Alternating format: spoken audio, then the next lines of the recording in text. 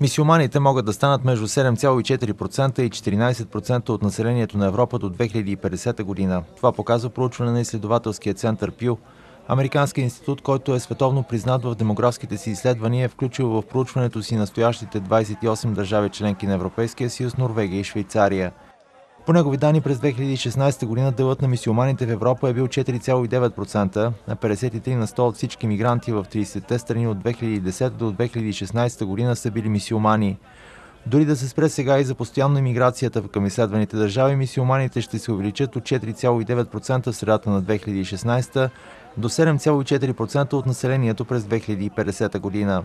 Пи обяснява това с факта, че мисиоманите са по-млади, средна възраст 13 години и по-плодовити, средно едно дете, повече на жена от останалите европейци. Вторият сценарий се основава на продължаването на легалната миграция, която отчита Европа през последните години и на спирането на наплива на търсещи убежищи мигранти.